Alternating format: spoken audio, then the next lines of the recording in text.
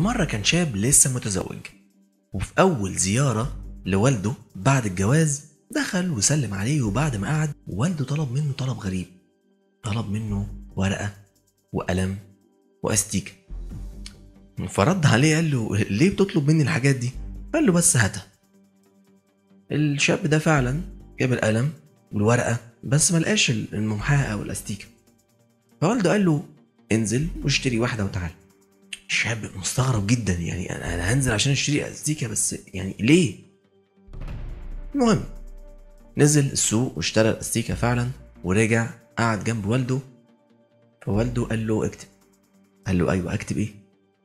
قال له اكتب اللي أنت عايزه. قال له يعني أكتب إيه؟ قال له اكتب أي حاجة أنت عايزها. الشاب فعلا ده كتب كتب جملة. فوالده قال له يلا امسحها. فالشاب فعلا مسحها. فقال له يلا اكتب. قال له يا ربي اكتب ليه تاني؟ طب قول لي انت عايز إيه؟ قال له بس اكتب. فكتب. قال له يلا امسحها. فمسحها فقال له ها إيه المطلوب بقى تاني؟ قال له اكتب. فقال له بالله عليك تقول لي بتعمل معايا كده ليه؟ أو عايز تقول لي إيه؟ فقال له بس اكتب. كتب. بعد ما كتب قال له امسحها.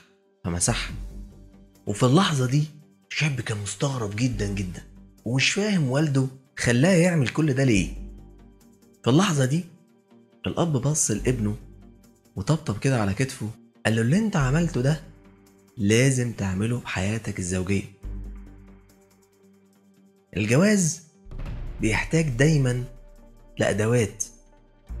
الجواز دايما محتاج زي ممحاة أو أستيكة. إن ما كنتش شايل معاك الأدوات اللي تقدر تمسح بيها المواقف اللي مش هتعجبك في زوجتك. تقدر تمسح بيها المواقف اللي مش هتعجبك من زوجتك. وزوجتك كمان إن ما كانش معاها ممحاة أو أس أو أستيكة تمسح بيها المواقف اللي مش هتعجبها فيك بت أو منك.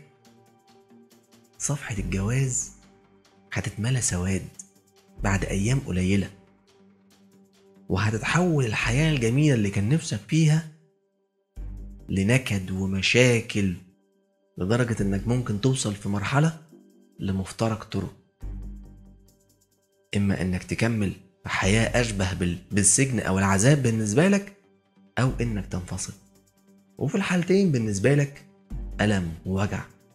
لكن الأفضل إنك أول بأول تمسح المشاكل ما تسيبش عندك التراكمات. عشان عشان الملف ما يتملاش سواد السؤال بقى دلوقتي لكل المت- المتزوجين حديثا أو اللي عايزين يتجوزوا هل أنت لديك الممحاة لكي تزيل بعض المواقف السيئة في حياتك الزوجية؟